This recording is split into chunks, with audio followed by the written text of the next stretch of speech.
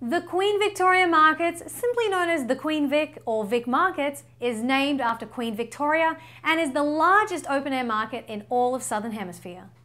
The market was once known as a thriving underground pirated goods centre, but today is a major Melbourne tourist destination, offering a variety of fruits and vegetables, gourmet and deli foods, and it also has a large non-food related market selling clothes, jewellery, shoes, and arts and crafts.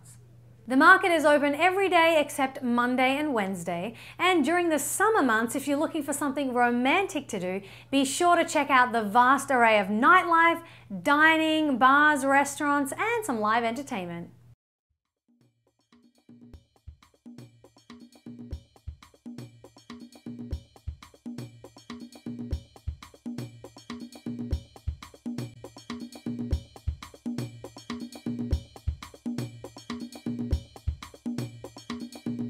I'm Asha Kay and thanks for watching. If you want to know more about Mahalo Travel, click on any of the links around me and subscribe to our Mahalo Travel channel and mahalo.com. If you have any recommendations, please send us an email, requests at mahalo.com. I'll see you next time.